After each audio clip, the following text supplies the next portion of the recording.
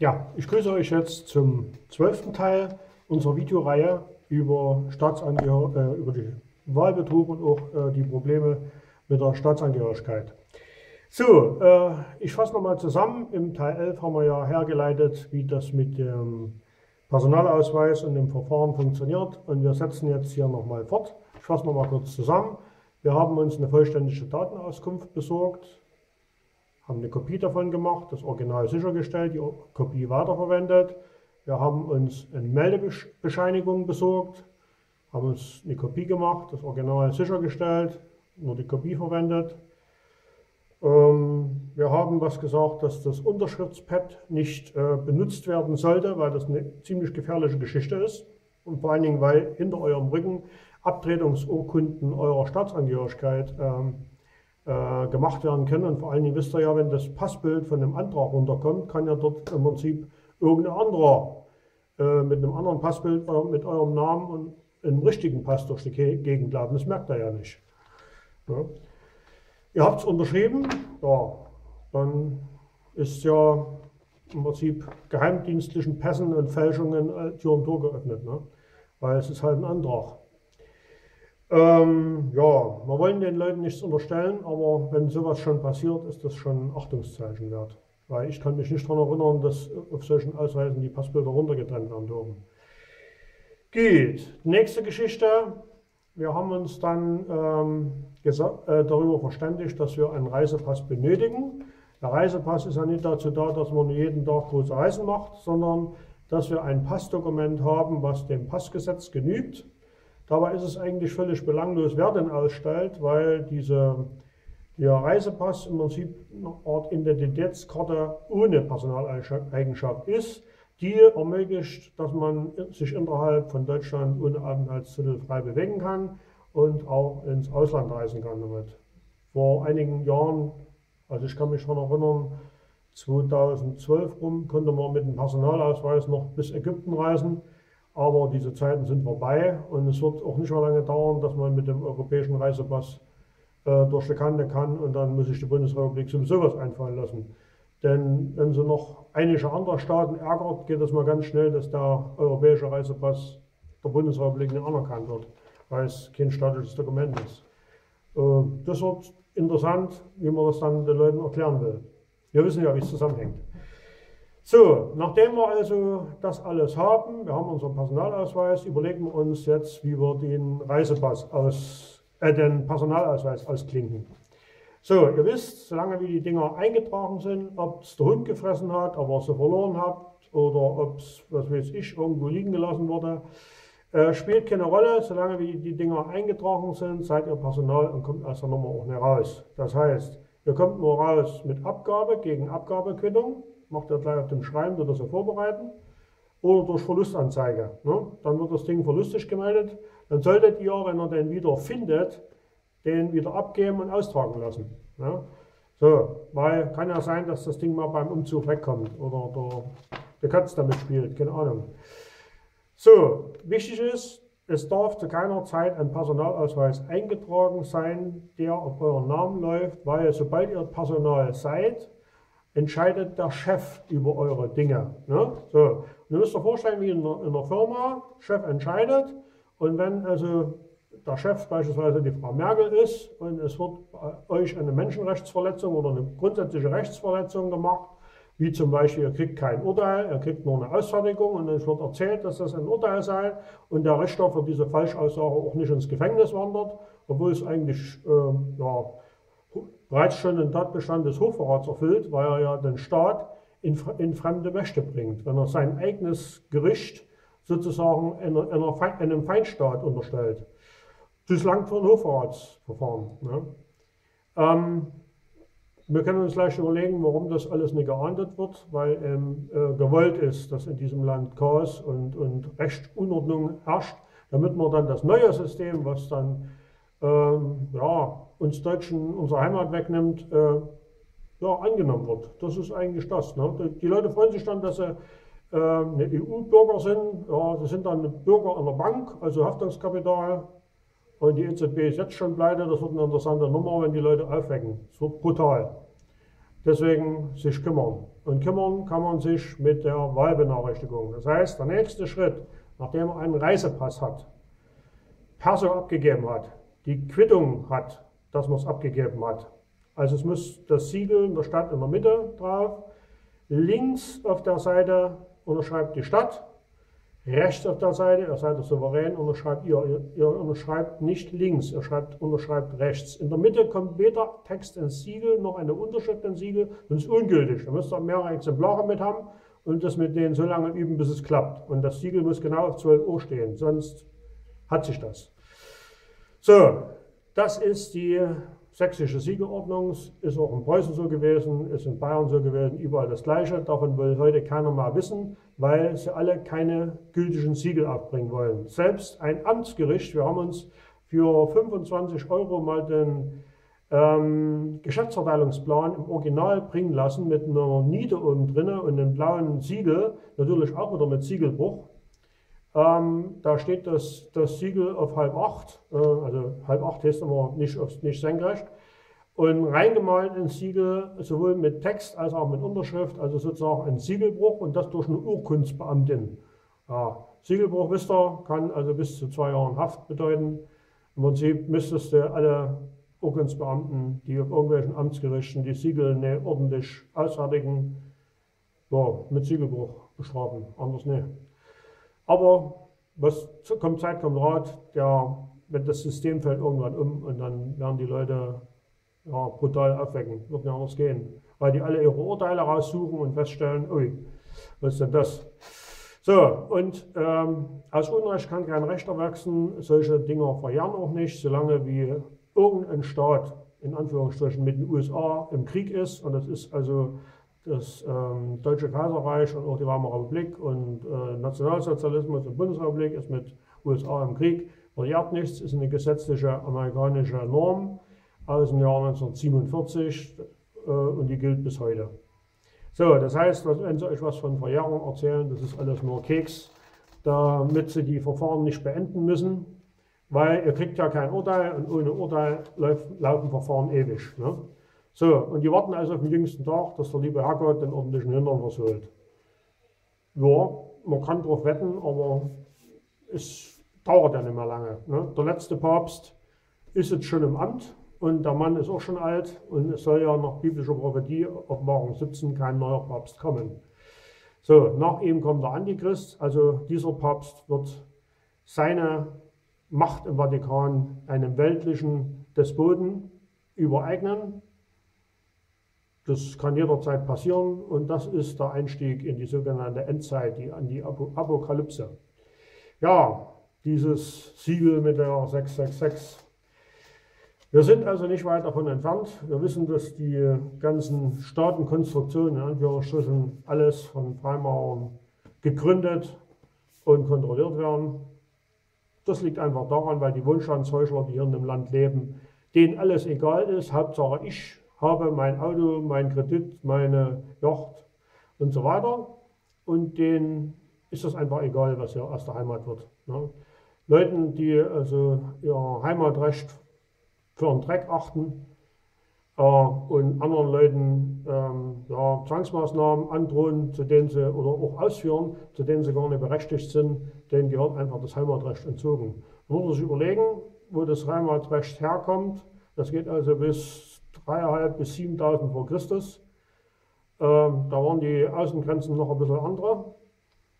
Es war deutlich größer. Ja, und wenn man denen dann das Heimatrecht entzieht, haben sie ein ordentliches Problem. Gut, früher oder später wird es durch Schutzgebietsabkommen dazu kommen, weil Deutschland derzeit das einzig solvente Land ist, in, also nicht Deutschland, sondern das Deutsche Kaiserreich. Deutschland selber ist ja pleite. Ähm, ja, dann werden sie sowieso alle betteln kommen im Schutzvertrag und dann sind die Außengrenzen wieder die von den alten Germanen. Ne? Teutoburger Wald. Jo, da, also die Aussichten stehen gut, muss man sehen, was passiert. Ne? Wir wollen ja dann den Ereignissen nicht vorgreifen, aber die Zahlungsbilanz sagt es halt so. Jo, und ähm, als Personal haftet man natürlich dann auch für die ganzen Schulden, weil alles das, was der Bund an Schulden aufhäuft, also alles das, was Einnahmen minus notwendige Verwaltungskosten minus Besatzungskosten übersteigt, ist Staatsvermögen und das muss der Bund an den Staat, also an den kaiserlichen Staat, abführen. Spätestens bei Friedensschluss. Und da kann er nicht um die Ecke kommen und sagen, ich habe nichts. Ja? Er wird sich bei denen holen, die noch Personal sind. Man muss es so ganz klar sagen. Und das bedeutet Auto weg, Frau weg, Kredit weg, schlecht. Jo, das heißt, früher oder später kommt der Ausstieg. Und da sollte man sich schon einmal das Chefgesetz 52, äh, Sicherstellung und Beschlagnahmung von Vermögen, genau an, angucken. Und da steht nämlich drin, dass das, Staats, äh, das, dass das Eigentum von den Bundesstaatenangehörigen nicht gefändet werden darf. Das ist der Grund, weshalb man alle zu EU-Bürgern machen will. Das heißt, äh, man schwatzt den Leuten irgendwann auf, ihr habt doch schon jahrelang einen EU-Reisepass, also seid ihr doch EU-Bürger. Nö, ist es nicht. Ja. Wenn man jemand was aufzwingt, entsteht ja kein Vertrag. Und da die EU eine Bank ist, müssen sie schon mal einen Vertrag machen. Und wenn man den Vertrag nicht will, fällt man zurück in die ursprüngliche Bundesstaatenangehörigkeit. Das ist das, was, man, was passiert, wenn man den Personalausweis abgibt. So, und dann ja, ist es dann nur noch eine sportliche Aufgabe, die sich von der Gemeinde bestätigen zu lassen. Und das funktioniert nur mit einem Schachzug, sage ich mal. Ne? Ich sage mal nicht Trick, ich sage mal Schachzug. Man muss Folgendes wissen. Es gibt eine Grundregel, dass in der gleichen Normenhierarchie immer, das, wenn sich zwei Gesetze widerstreiten, das Jüngere gilt. Unter der Voraussetzung, dass beide gültig sind. Ja, dann gibt es eine zweite Regel. Wenn ein Gesetz ungültig ist, gilt das letzte Gültige. Muss ich auch merken. So, und äh, dann kommt noch dazu, dass ein Gesetz der höheren Hierarchie das niedere bricht. Ja? Das heißt, wenn das Volk eine Verfassung in freier Willensabstimmung direkt wählt, fällt auch die Reichsverfassung von 1871 auf die Füße. Geht nicht anders. Auch die DDR-Verfassung, alle Verfassungen fallen genau an dem da auf die Füße. Und zwar aus dem Grund, weil eine Verfassung die direkt vom Volk gewählt ist, einen höheren rechtlichen Rang hat als eine Vertreterverfassung. Ja? Weil wir haben ja nur, auch die Reichsverfassung 1871 ist ja von den Reichstagsabgeordneten gewählt. Und es ist auch so, dass die DDR-Verfassung von den Abgeordneten der Volkskammer gewählt ist. Also sind immer nur Vertreterverfassungen. Und die Verfassung des Souveräns, einen höheren Rang, aber derzeit haben wir keine. Und wir wissen also, dass die 1919er Verfassung ungültig ist.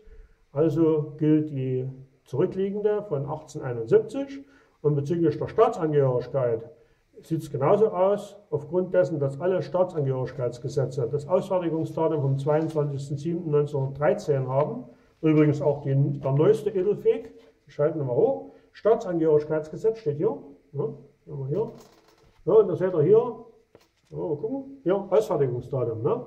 haben wir wieder hier unser beliebtes 22.07.1913. Also haben wir einen neuen Edelfeg und der ist vom 27.02. Das heißt, wenn wir die jetzt wegen Fälschung von Gesetzen in Anspruch nehmen, haben wir also zwei Jahre Zeit, sie wegzuklagen. Ja, äh, ja, also Gesetzfegen ist schon eine steile Nummer. Und noch eine schöne Geschichte, guckt mal hier, Paragraph 3, ist was eingebaut. Äh, und zwar Paragraph 3 Absatz 4a. Also immer dann, wenn an irgendwelchen Paragraphen A's oder B's oder C's oder irgendwelche anderen Buchstaben dran steht, wisst ihr, ist im Original nicht vorhanden. Es gibt im ganzen kaiserlichen Recht keine Paragraphen mit Buchstaben. Und das nächste, wo ihr so stutzig werden müsst, dass es sich um ein Fake handelt, ist, wenn dann steht, nicht amtliches Inhaltsverzeichnis. Da muss ich ja überlegen, souveräne Staaten haben es ja an sich, dass ihre Gesetze keine amtlichen Gesetze sind. Ne? in Anführungsstrichen. Also muss doch einfach mal nachdenken, äh, was da wohl nicht stimmt. Ja, also Staaten haben immer amtliche Inhaltsverzeichnisse. Wenn steht nicht amtliches Inhaltsverzeichnis, ist es das gleiche, hallo Jurist, erstes Semester, du hast hier einen Feg. So, nun ist es so, wer Rechtsanwalt ist, darf seinen Mandanten nicht darüber aufklären, wenn das System den, den Mandanten um die Rechte beschneidet. Dafür muss er bei der Kammer unterschreiben. Da sagen wir mal, was ist denn das für ein mieser Anwalt, der seine Mandanten nicht berät? Was ist es denn für ein Problem, wenn ich dem Mandanten sage, hier ist ein Buchstabe 4b. 4b gibt es im Ausfertigungstext vom 22.07. überhaupt nicht. Da musst du einfach mal nachwaschen. Aber den Antrag musst du stellen, ich darf es nicht machen. Wo ist denn das Problem? Ja, warum muss es ein Anwalt einfach auch mal sagen und ein bisschen Vorwissen haben, pass mal auf, wenn du mich hier in, irgendwo reinlaufen lässt und du hast die Pflicht, mir mehr zu dienen als dein Brötchengeber, dann kriegen wir miteinander alle beide ein Problem. So, aber das führt dann dazu, dass man sich selber erstmal belesen muss. Und zu diesem Zweck haben wir eine Kammer gegründet. Ja? Also diejenigen Leute, die sich hier mit Recht befassen wollen, haben wir eine freie Bundesadvokatenkammer für deutsche Juristen gegründet. Und äh, da kann man also Mitglied werden und dann wird man regelmäßig geschult in den Dingen. Da muss man kein Rechtsanwalt oder auch kein Richter sein. Es reicht, wenn man ähm, den Willen mitbringt, sich zu belesen und schrittweise in die Thematik reinzusteigen. Einfach, um sich selber zu schützen. Dass man selbst Edelfix erkennt und notfalls auch anderen helfen kann. Man muss weiter wissen, es wird Ihnen manchmal erzählt, es gibt das sogenannte Rechtsberatungsgesetz. Wenn ihr das Wort hört, müssten sofort alle Alarmglocken angehen. Das ist ein Gesetz von Adolf Hitler, steht unter Anwendungsverbot. Ist übrigens auch wieder der Geltungsbereich gelöscht. Das heißt, der Gesetzestext existiert, kann also immer Bestandteil einer Chefanweisung sein. Also fürs Personal gilt es, für den Staatsangehörigen nicht. So, genau in dem Moment, wenn es der Chef, also die Frau Merkel, eine Generalvollmacht ausgegeben hat im Geheimvertrag, dass alles Unrecht von den Gerichten durchgewunken wird, dann hast du ganz schlechte Karten. Ja, deswegen Personalausweis abgeben, schnellstens. Und zwar bevor es den ganzen Europa-Dreck auseinanderhaut. Das kann ich jedem nur empfehlen. Aber wie gesagt, unter den Vorbemerkungen, sein Vermögen und seine Einkommensquellen zu sichern. Also sich mal mit dem Gedanken befreunden, eine selbstständige Tätigkeit auszuführen. Ähm, und da auch eine Dienstleistungstätigkeit sich auszusuchen. Also kein produzierendes Gewerbe, sondern Dienstleister.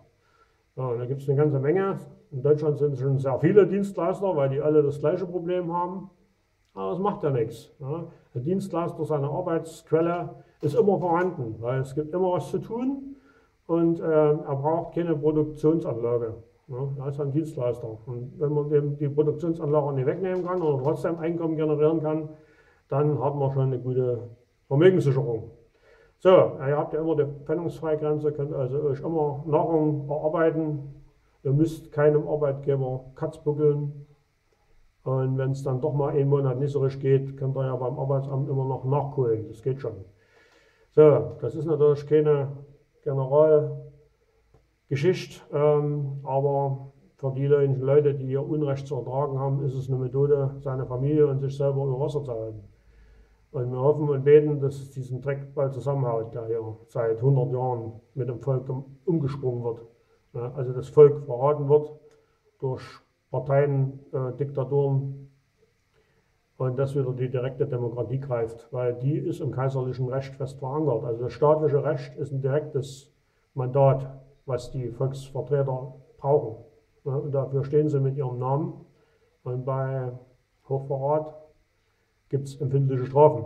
Ja, dann ähm, muss ich jetzt nicht erläutern, müsst ihr selber mal nachlesen, wie das dann gehandhabt wird. In Wien gibt es da übrigens einen Hofscharfrichter, der die Hochstraftaten von Österreich-Ungarn abmahnt. Ähm, hm. Gut, in Deutschland war es das ähnlich, ich weiß nicht, wo es war, aber sicherlich irgendwo in Berlin, Potsdam oder so. Jo, also, das ist erstmal das bis zum Personalausweis. Jetzt haben wir die Geschichte, wir machen eine, in der Abgabeerklärung des Personalausweises noch eine Personenstandserklärung rein und dort schreiben wir rein, es gibt keine juristische Person meines Namens. Und da steht Familienname und Vorname. Es gibt nicht den Namen. Name ist immer eine Sache, Familienname ist ein Mensch oder Frau, also Mann oder Frau. Ne? So, Mensch ist auch schon wieder eine abgeschwächte Form. Also man unterscheidet das sehr. Ja. Also Mann oder Frau und dann immer Vorname und Familienname. So. Ähm, der eine oder andere wird sich gefragt haben, was dieser ganze Gender-Mainstreaming-Dreck soll. Ja. Also gibt ja viele, die jetzt eine Gleichmachung zwischen Mann und Frau fordern. Da fragt man sich, was das soll. Also wer nicht in der Lage ist, einen Mann von einer Frau zu unterscheiden, da ist einfach schwachsinnig. Ja, da wird nicht eingeschult. So, da fragt man sich, warum wird das jetzt gemacht? Ja, da müssten wir einfach mal ins Wahlgesetz gucken. Ne? Da steht nämlich drin, dass die über 26-jährigen männlichen nach staatlichem Recht wahlberechtigt sind.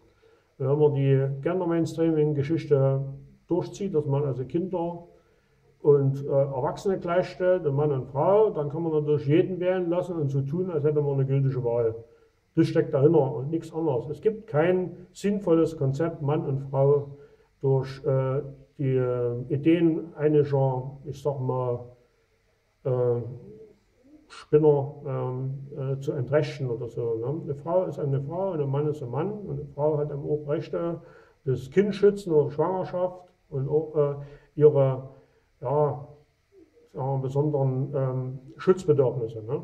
Also wenn es ähm, in der Regel ihr schlecht wird oder so, dass er dort freigestellt wird, auch wenn es das geht. Oder da auch der Frauenruheraum. Das brauchen eben Frauen. Ne? Das muss eben auch da sein. So. Andererseits ist es natürlich auch so, dass mit der Gender-Mainstream-Geschichte natürlich auch die Rechtsstellung des Mannes untergraben wird. Ne? Äh, hängt auch mit unseren Mindestlöhnen zusammen. Ja, muss man auch wissen. Der Mindestlohn dient ja dazu, dass beide Elternteile arbeiten müssen. So. Und damit hat der Staat eine einfache Möglichkeit, in die Familie reinzugreifen und äh, die Kinder in eine, in eine, Richtung zu erziehen oder zu beeinflussen, die für alle Beteiligten nicht gut ist. So. Ja. Und man, man, sieht ja, wie heute die Löhne ähm, überall ja, knapp über Mindestlohn kalkuliert werden. Und das kann auf Dauer nicht gut sein. Und das haben eben unsere Volksverräter zu verantworten. Und wir werden die auch verantworten, sobald das Eurosystem Lemming macht. Was wir jeden Tag erwarten, ich sage es immer wieder. Ja. So, ähm, wir sind also jetzt dran an der Abgabeerklärung. So, dann gebt ihr euren Personalausweis ab. Die Abgabeerklärung lässt ihr euch abzeichnen, gleich als Empfangsbestätigung, alles in einem. Also die Personenstandserklärung schiebt ihr dort mit unter. Ist ein gutes Recht weil konkludente Verträge hinter eurem Rücken müsst ihr nicht akzeptieren. Also eine Vereinbarung, die Dritte hinter eurem Rücken treffen, ist, ist, ist nichtig. Ne? Also Rundfunk, Rundfunkstaatsvertrag der GEZ, den kann es nicht geben, weil äh, der, das Bundesland mit der Rundfunkanstalt einen Vertrag macht und die hat keine Auswirkung auf einen selbst. Außerdem kann Staatsverträge dürfen nur die Verweser unterschreiben. Es gibt aber keinen Verweser, weil auch die GEZ nicht vom Kaiser gewählt worden ist. Ich glaube nicht, dass der Kaiser GEZ gezahlt hat. So, vor allem nicht in Euro. Gut, ist das Thema endlich mal durch, hoffe ich mal. GZ und Co. Staatsverträge gibt es keine. So, ähm, wenn das Ding abgegeben ist, holt ihr eure Wahlbenachrichtigung hervor und, äh, ach nee, Moment, noch ein Schritt. Nachdem die, der Perso abgegeben ist, holt ihr euch wieder eine Meldebescheinigung. Aber bitte erst nach dem 20. Tag. Also ihr lasst den 14 Tage Zeit und noch etwas Zeit, um die Post zuzustellen, weil da kommt sie nämlich im Verwaltungsverfahrensgesetz. Aber nach dem 20. Tag ist auch diese Tür versperrt. Und wenn ihr nach dem 20. Tag, nachdem ihr den Personalausweis abgegeben habt, holt ihr wieder eine Meldebescheinigung, zieht die Nummer nochmal und auch die erweiterte, könnt ihr am gleichen Tag holen. Dort muss die Staatsangehörigkeit umgetragen worden sein. Ist das nicht passiert, macht sich der Bearbeiter strafbar, weil die Personaleigenschaft äh, des, äh, des Personalausweises überblendet die Staatsangehörigkeit, aber nach Ablauf der Abgabefrist plus Verwaltungsfrist, äh, 14 Tage, muss dies umgetragen werden. Das heißt, äh, in meinem Fall müsste Sachsen stehen, nur Sachsen, großes S, Rest klein. In anderen Bundesstaaten gibt es dann auch irgendein ein äh, Bundesstaat des Kaisers, der dazu trifft, müsst einfach mal eine alte Karte raus, rausziehen, da seht ihr ja, wo, in welche Gegend ihr euch einordnen müsst. So, und es kommt noch eins dazu, ähm, ja, ihr seht ja hier im Stack, ne, ich halte es mal hoch, hier, wo mein, wo mein Finger ist, da steht hier weggefallen. Und wenn ihr irgendwas seht, wo da steht weggefallen in Klammern, ist das immer ein Hinweis, dass ihr an das Gesetzblatt des tatsächlichen Ausfertigungsdatums reinschaut. Wollen wir mal reingucken, was in Paragraph 2 steht? In Paragraph 2 steht, dass ja Elsass-Lothringen hier noch mit als Bundesstaat angeführt ist und die Staatsangehörigkeit der Schutzgebiete als Inland gelten. Also man muss sich überlegen, welches sind die Schutzgebiete. Die Schutzgebiete stehen bei deutscheschutzgebiete.de. Guckt doch mal rein. Und wenn jemand aus Deutsch Südwest hier kommt, ist er deutscher Staatsangehöriger. Warum ist es so? Weil auch das DAC, das Ausfertigungsdatum am 22.07. 1913, ich halte es mal richtig hin, damit das jeder sehen kann, auch im Video. Ja, so. Und ähm, ja, demzufolge dieses Weggefallen nicht gilt, weil der Kaiser hat nichts gestrichen. So, und das Staatsangehörigkeitsgesetz äh, endet natürlich auch mit dem dritten, Moment, Paragraph, was ist der letzte, der 41, und dann steht unten drunter urkundlich unserer höchsteigenen Unterschrift. Äh, ja, auf der, an Bord der MV Hohenzollern, hier hinten. Im Stack findet man natürlich nicht, weil die Frau Merkel haben sie nicht eingeladen zu der Bootsfahrt. Ja, was steht da? Hier geht es bei, ach nee, guck mal an. Gibt es auch eine 42, ne? Also die, so, ihr wisst, dass Frau Merkel keine Zeitreise gemacht hat, die ist nicht mit äh, Star Wars äh, gebeamt worden und hat mit dem Kaiser Kaffee trinken gemacht und da hat der ein neues Staatsangehörigkeitsgesetz ausgefertigt und dann ist sie zurückgereist ja, und ähm, ja, das ist also ein Edelfake, ne? das ist eine Fälschung. Bundesrepublik hat kein staatliches Staatsangehörigkeitsgesetz.